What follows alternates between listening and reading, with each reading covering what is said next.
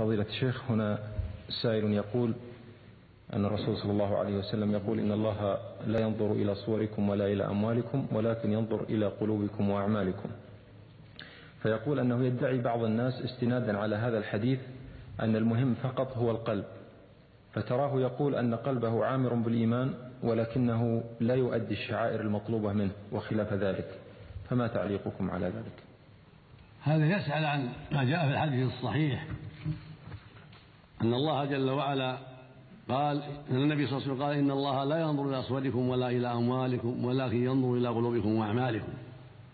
يقول إن بعض الناس قد يتعلق بهذا ويقول إن المعول على القلب وأن العمل لا معول عليه. ولهذا إذا نصح وقيل له اتق الله قال الإيمان في القلب. هكذا يقول بعض الناس. فإذا نصحته عما يحصل منه من المعاصي من التساهل بالصلاة أو البخل بالزكاة أو غير هذا أو حلق لحيته أو إسبال ملابسه أو تعاطيه المسكر أو ما أشبه ذلك قال الإيمان في القلب وهذا الاحتجاج بهذا الكلام حجة شيطانية باطلة. فإن القلب هو الأساس. فمتى صلح القلب؟ صلحت الأعمال كما سمعت في الحديث الآخر.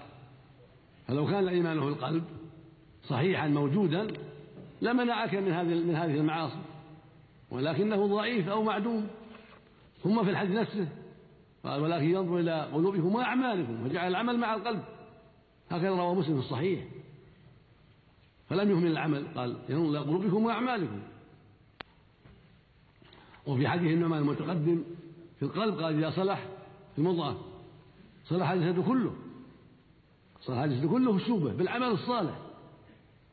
فإذا صلح القلب صلح البدن فانقادت الجوارح لطاعة الله وانكفت عن محارم الله هذا هو الصلاح. فإذا كان الجسد لم يصلح هذه علامة أن القلب لم يصلح وأن الإيمان به فيه معدوم أو مريض مدخول ضعيف. والإيمان يزيد وينقص وهو قول وعمل عند أهل السنة والجماعة.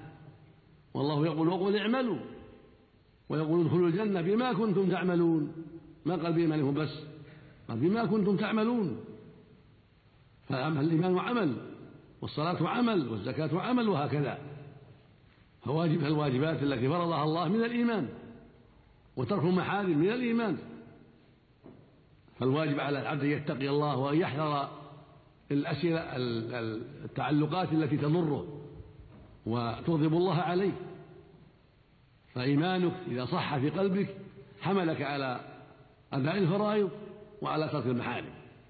ومتى وجد منك الخلل في بعض الواجبات أو ركوب بعض المحارم فذلك دليل على ضعف إيمانك.